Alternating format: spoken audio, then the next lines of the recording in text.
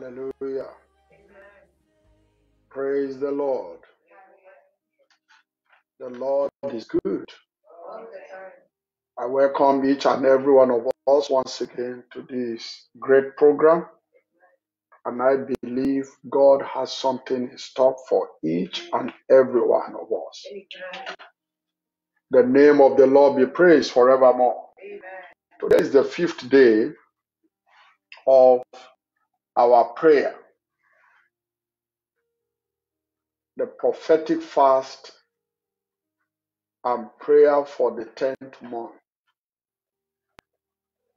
And I want to congratulate everyone that has been on this fast. It is the last prescribed prophetic fast of the year 2021. We had the fast of the fourth month, the fast of the fifth month, and the fast of the seventh month. And now we are on the tenth month. And the Bible says the end of every matter is better than the beginning thereof. I pray for every one of you that uh, whatever this fast hold, like we are told categorically that it shall make the house of Judah to experience joy, gladness, and a cheerful feast. A cheerful feast can be called testimony. Testimony bring cheers and a feast at the same time. I pray in the name of Jesus Christ of Nazareth that you will not end this year with your hand on your head as a symbol of defeat. I pray for you that whatever has been a blessing, whatever you have been thanking God, whatever has been progressively signaling an addition and increase, it will not turn to sorrow. In the name of Jesus Christ. And I declare that you will end well. You will end well. you will end this year well. It shall be years of years for you. In the name of Jesus Christ. Let's keep praying. Let's keep thanking. Let's keep our faith on. Let us not cast away our confidence. God can come from any direction. He can come from behind. He can come from the front. It can come from the middle.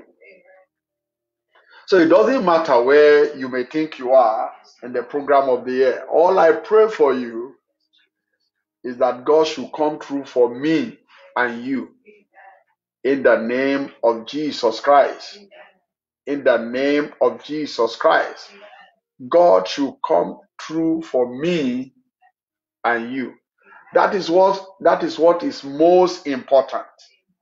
God should come through for you and me. And I see him doing so in the name of Jesus Christ. I see him doing so. He will come true for you in Jesus' precious name. Uh, today I will be rounding up on the subject that we have been looking into the forces that power life. Life is not answerable to force. You don't force life. When I mean force it, that is, you don't uh, humanly use your energy to make life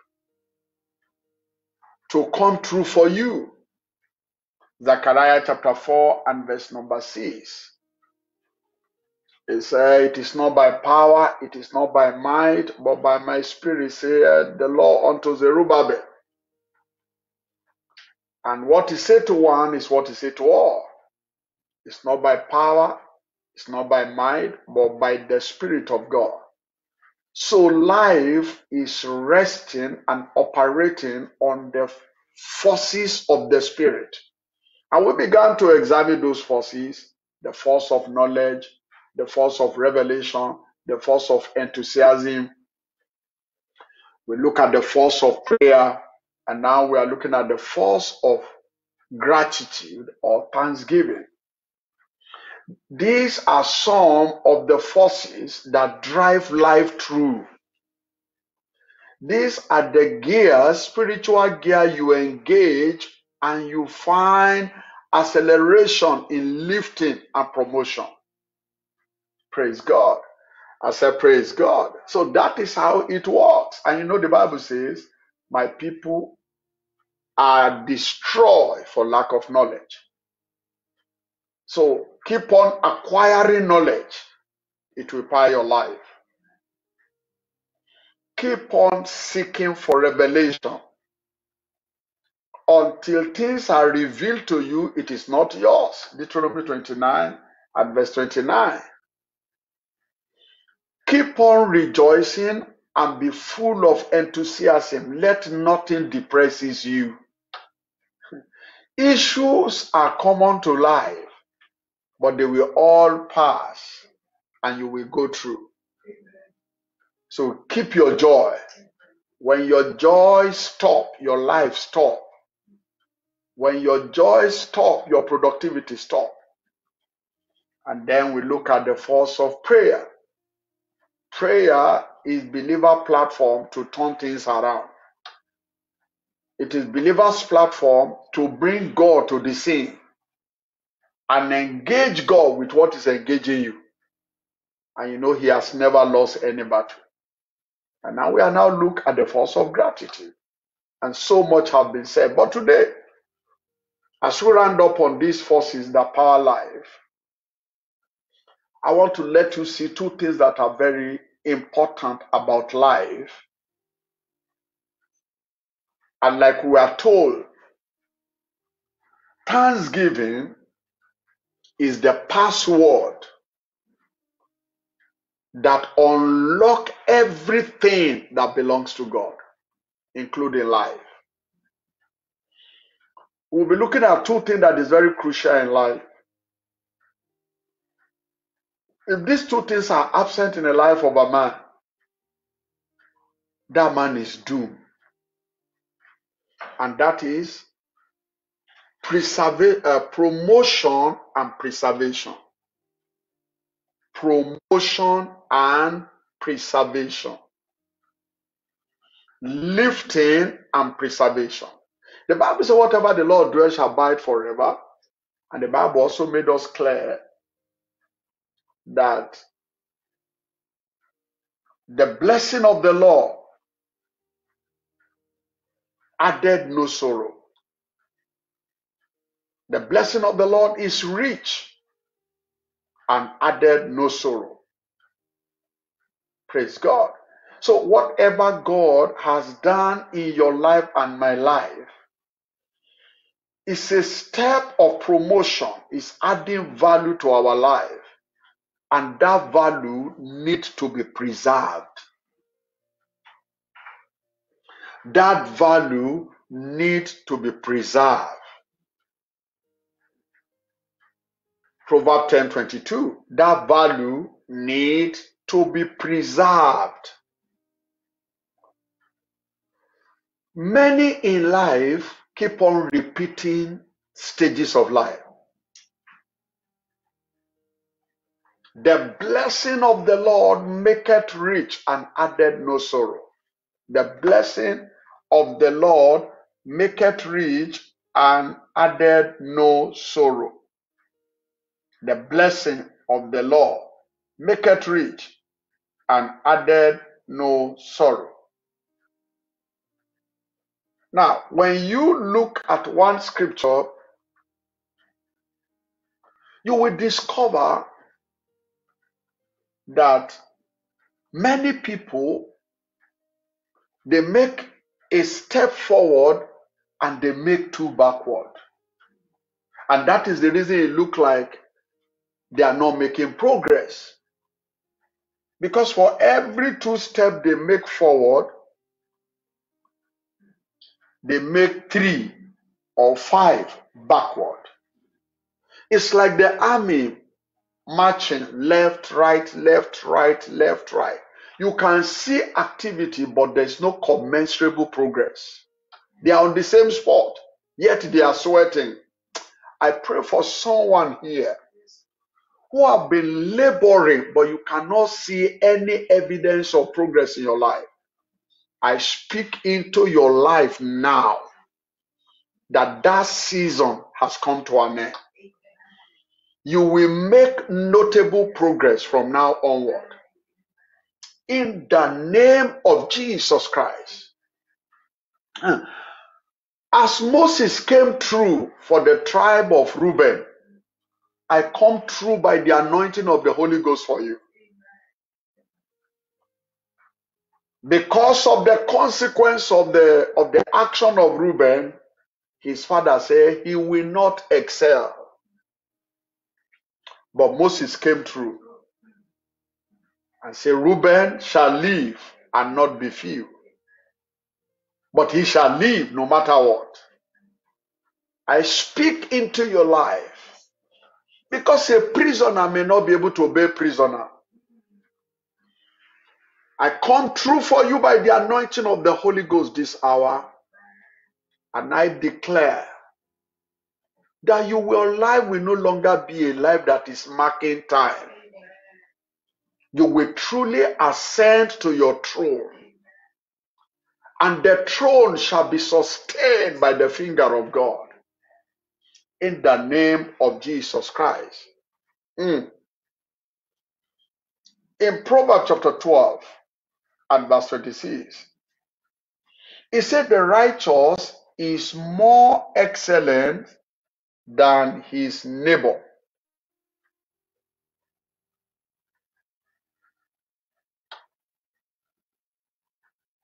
But the ways of the wicked seduces them. The ways of the wicked seduces them.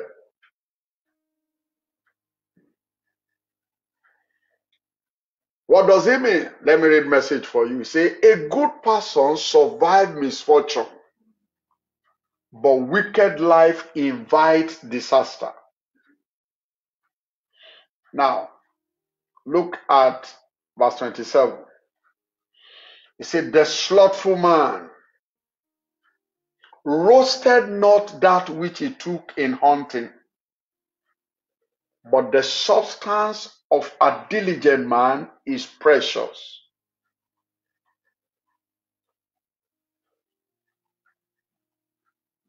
Hmm.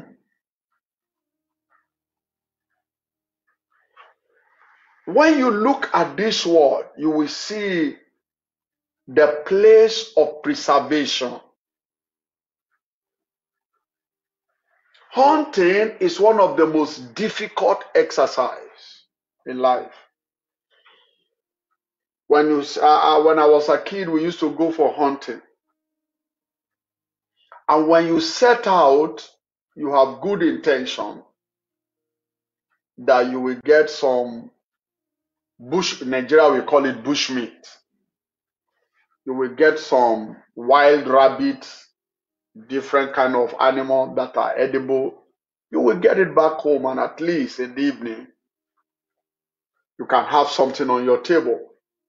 But as good as your intention is, the reverse may be the case. Because you cannot predict what animal you will meet. You are going for cheetah, you may find lion. So the hunter become the hunted. You may be going just for ordinary rat. I've seen that happening. We will find a big snake. I remember one day I set a trap. And when I came back, on top of the trap was like a python, big snake. He the, the trap cannot kill the snake. The snake is still alive. And that is how life is. But the Bible said the slothful, even when he get the animal, he will not roast it. And you know, roasting is one of the is one of the ways of preservation. It's a preservation method. Ancient preservation method, even to today. If there's no power in your house, don't cry. Grill all the chicken. And then you have preserved them. But the Bible said the slothful man roasted not that which he took in hunting, but the substance of a diligent man is precious.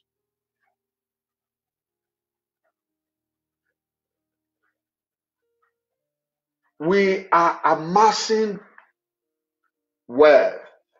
We are getting breakthrough. We are getting new jobs.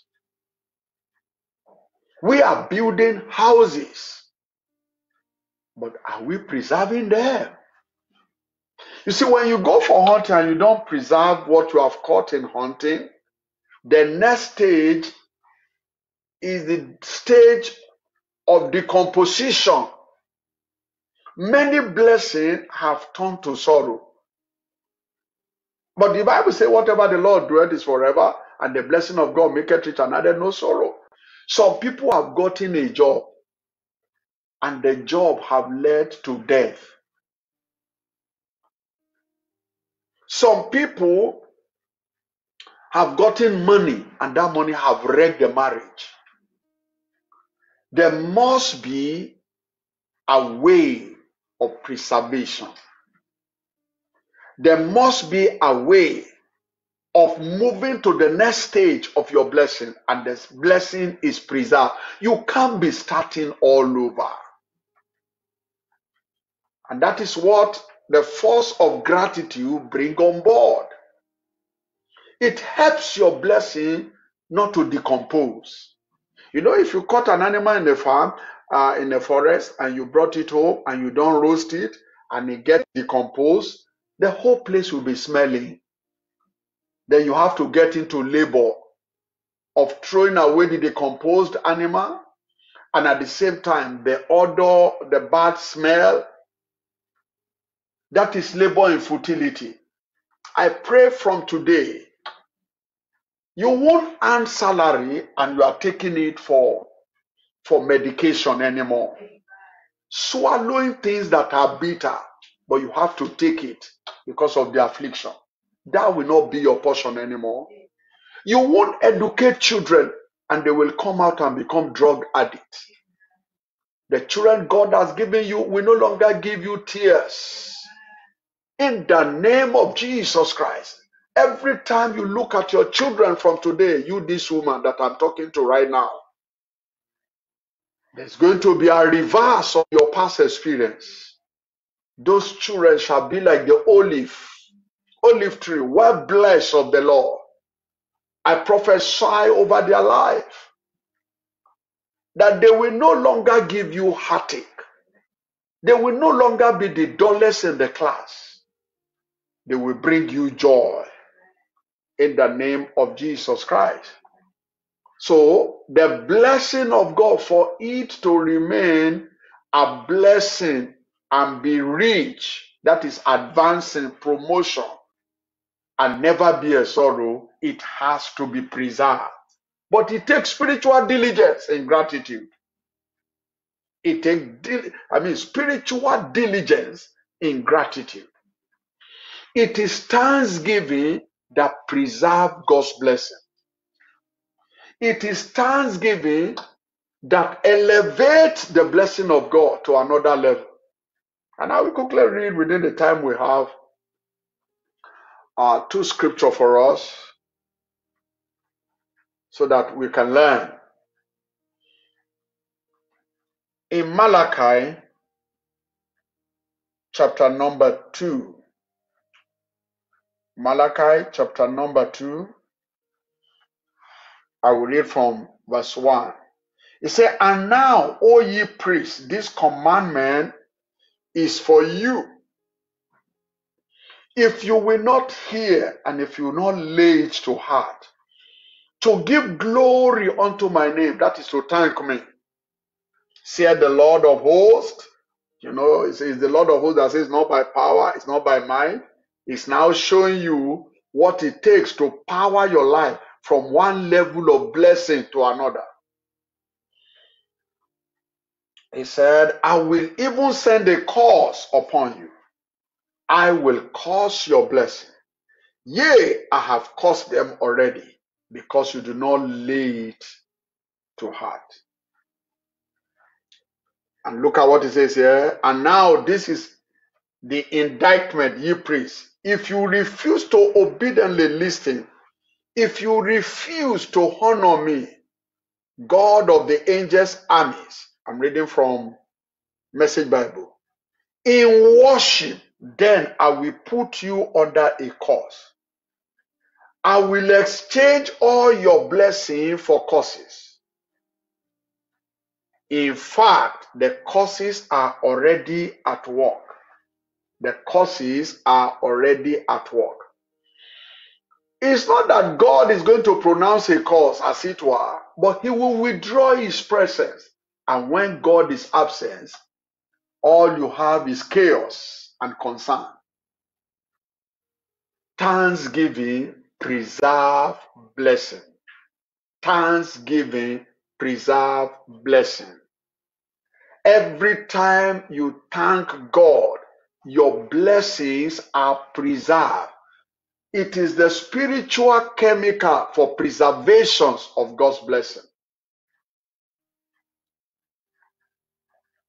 The moment you give thanks, you have seed that blessing with a spiritual chemical that forbid it. It's like refrigerating a fruit.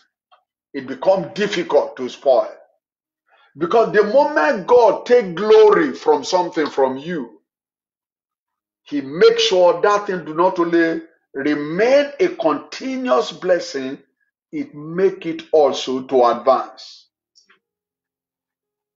I believe God with you today that from now onward, you will not take God's blessing for granted anymore.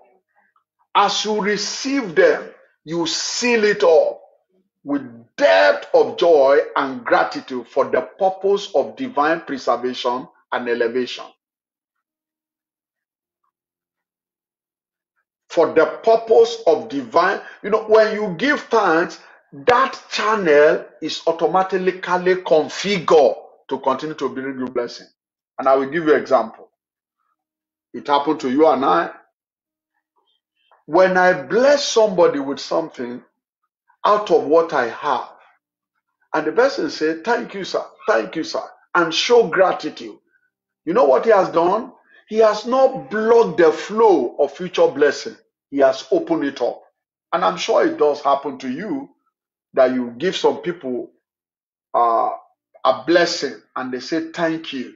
You know, when you have the next one, their name comes to your mind.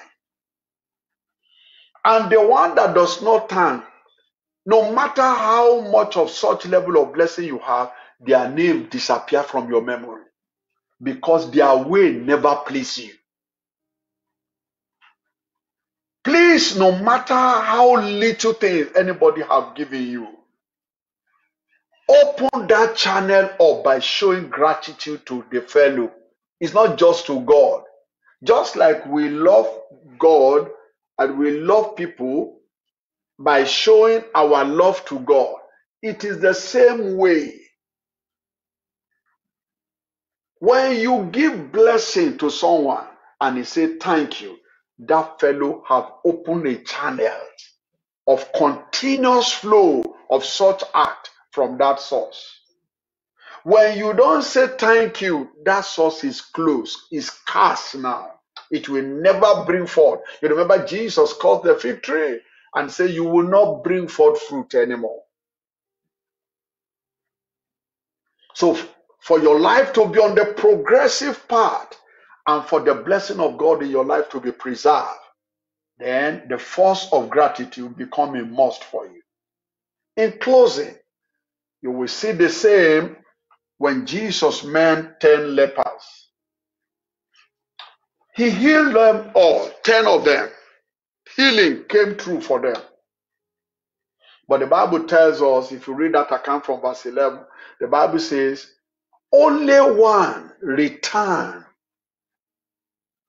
Only one returned and glorified God and that she was a, uh, a Samaritan. Praise the Lord. Only one returned to give glory to God. Only one. Only one one person. You see the ratio? And that is how it has been.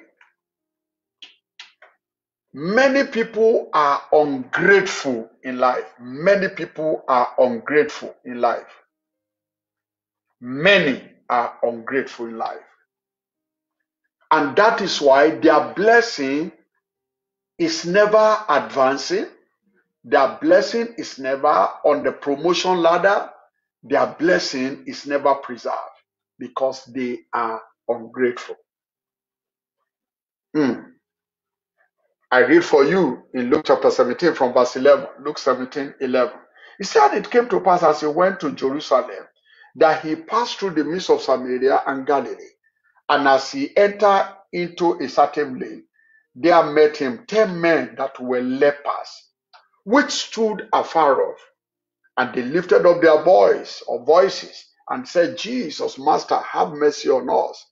And when he saw them, he said unto them, Go show yourself unto the priest. And it came to pass that as they went, they were cleansed. And one of them, may you be one of such people that we do the right thing, that we engage the right forces. And one of them, which when he saw that he was healed, turned back and with a loud voice glorifying God and fell down on his face at his feet, giving him thanks. And he was a Samaritan. Look at what happened. And Jesus answered, said, Were there not ten cleansed? But where are the nine? I am not through with them. There is still a there is still a level of restoration and recovery that is packaged for them. It is thanksgiving that makes you to be on the continuous rising in life. Continuous rising in life. And that is what makes life sweet. And that is how God designed life for believer. He said the path of a just man is as a shining light, shining brighter and brighter. He said, I will not give you the city in one day. I will give you little by little. Your appreciation of one little take you to another level of what God called little until you become very great and exceedingly great. Were there are not ten cleansed? But where are the nine? I am not through with them. They cut short their blessing. You will no longer cut short of your blessing. It may not be, listen to me, it may not be as big as you want. It may be little to what you are looking for. But listen to this. It may not be exactly what you are looking for in volume, but it has brought you closer to what you are looking for. You are looking for 50,000, somebody gave you 5,000. Now you are looking for 45. He has reduced your needs. He has met part of it. He has reduced your anxiety. Because God has so much for his children. But he proved you with little. And your attitude on little constantly determine whether you ever see the much that you are looking for. And verse 18, he said, They are not found that return to give glory to God, save this stranger. And he said unto him, Well, life is never in truth a democracy because God is never crazy. Life is all about doing the right thing. Since you are the only one that do the right thing, even though you are one, we have to proceed in blessing.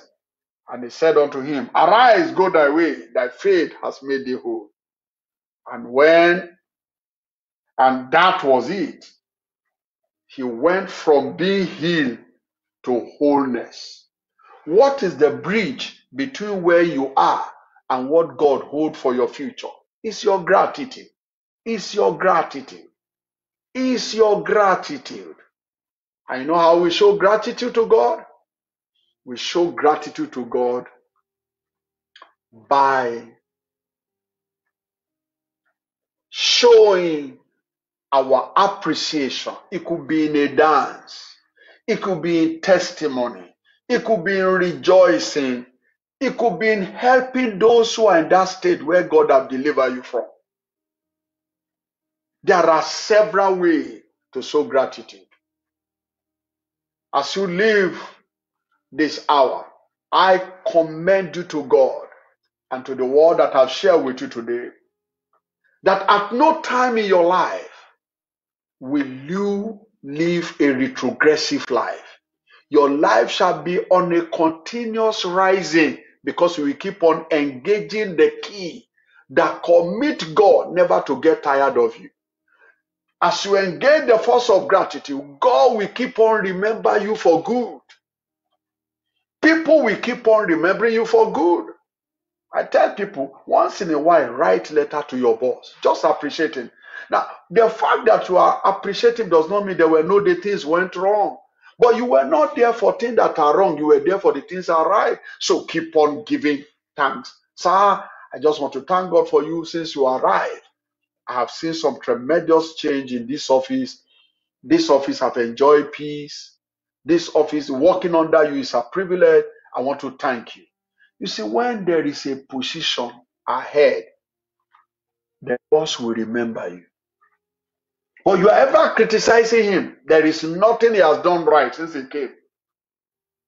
That is why he never his eyes never see anything that is right for you.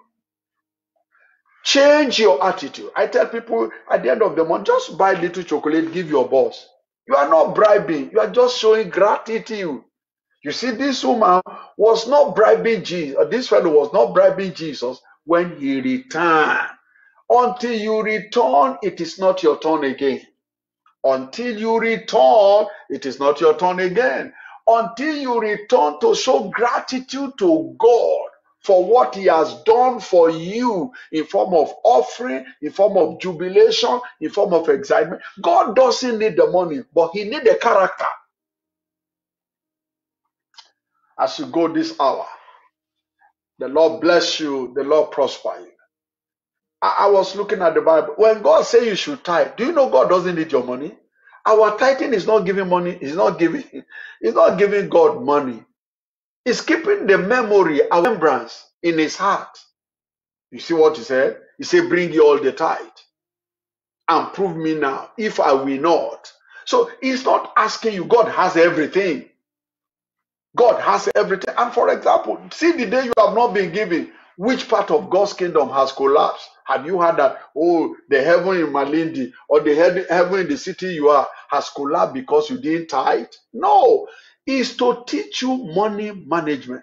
is to check your character. is to check what kind of person you are before he lifts you. As you go this morning, may the Lord be with you. I see you powering your life on a new pedestal, on a new phase with all these forces. You will not be stranded anymore in the name of Jesus Christ. God bless you and prosper you. If you are there this morning, you are not born again. God has given you life. Why don't you give back this life to Him? By receiving Jesus as your Lord and your Savior.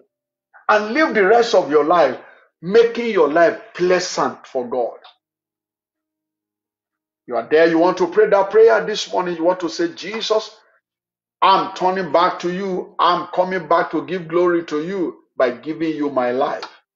By doing your will and inviting you into my life as my Lord and my personal Savior. I would like to pray with you. Shall we pray right now? Say after me, Lord Jesus, thank you for today. I am a sinner, but today I've heard your word. And today, I'm inviting you to come into my life. Forgive me my sin and my trespasses. I believe in my heart that you died and you rose from the grave for the atonement of my sin. I confess you as my Lord and my Savior. Satan, whatever activity you have, I'm no longer part of it. I am now born again, and Jesus is my Lord. Amen. God bless you, brother. God bless you, sister. Wherever you are, I want you to look for a Bible believing church and begin to go to church.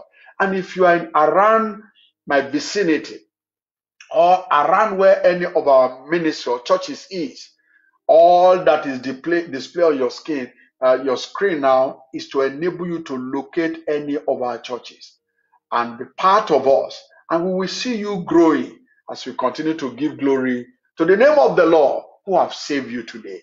May the Lord be with you. May the Lord grant you the desire of your heart. May you become a living testimony in Jesus' precious name. And for the rest of us, what an opportunity to give thanks to God this morning by way of giving our offering. Always remember to offer thanksgiving with your offering. God have done so much. He has woken you up today without any anxiety. There was no need for ambulance to come out of your house.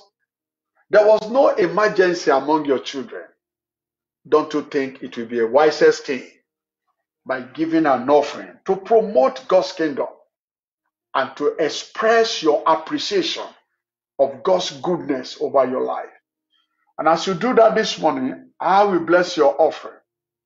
And God that multiplied the seed that is sown, that God will receive your offering this morning. And in turn, like he did to that, that man, when he received his appreciation, he advances. God never give back to you what you give to him in the same volume. These are kingdom economy principle. Engage it this morning in Jesus' precious name. Father, receive their offering. Use it for the advancement of your kingdom. And in return, bless your people. As they come with what they have, O Lord, turn it to what they desire. As they come with what they have, Lord, multiply it back to them. Thank you, Father. God is not mocked. Whatever a man sow, that is what he will reap.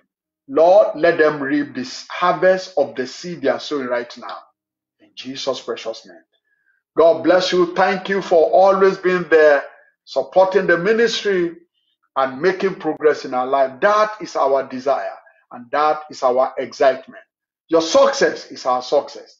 God bless you as you join us today. We have two power pack services today. We have uh, the evening service, prayer, time of prayer and intercession, and also at 10 p.m. to 12 a.m. we have Kesha today. Join us. Make sure you are praying because God is set to empower you to end this year successfully. Be blessed till I come your way. See you on top. In Jesus' precious name. Amen.